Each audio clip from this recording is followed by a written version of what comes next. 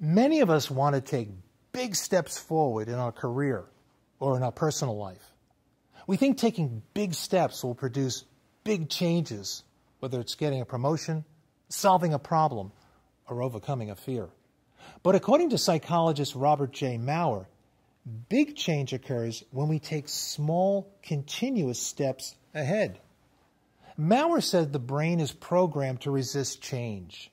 It's designed to trigger fear responses whenever we face a new challenge or opportunity.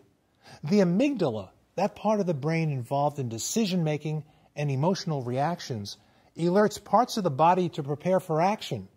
And access to the cortex, the thinking part of the brain, is restricted or may even shut down. But Maurer says that if you practice Kaizen, the Japanese technique of achieving success through small, steady steps, you'll be far more successful in life. By taking small steps, you tiptoe around the amygdala and never set off its fight or flight response. Remember, great change is made through small, steady steps.